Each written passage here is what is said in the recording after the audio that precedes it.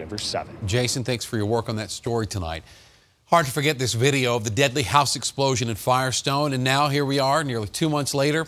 Finally, some good news. Two new methane pockets that were found after the explosion appear no longer to be an issue.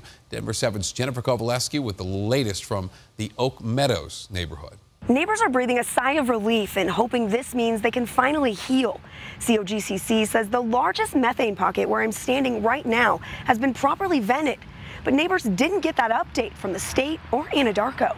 You know, it's made us feel uncertain that our homes are safe, and that's not a feeling anybody wants to have, especially when you have kids. For weeks now, this mother of three has been constantly reminded of this giant methane pocket right behind her fence. Right behind her house, there's definitely mitigation fans going, and you can see where the Martinez house was right from here. We first introduced you to Linnea Burson days after she learned about the new gas pocket, and weeks after this deadly house explosion not far from her house that was caused by a cut gas line from a nearby well.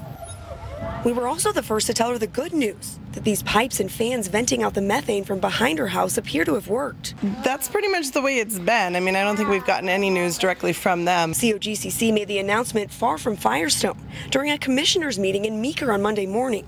This is audio from the meeting on YouTube. We expect that it would be um, removed effectively with the soil vapor extraction, and it appears that it has been. It's been very concerning, so I'm glad that there's nothing found. COGCC says they shut off the vent system last Wednesday, and since then, no new gas pockets have come back or been found. Burson now hopes her neighborhood can finally move forward. You know, knowing that it might kind of finally resolve all of this and start we can start healing from what happened. COGCC says they will continue to monitor this area and the other methane pocket just down the street to make sure no new gas shows up.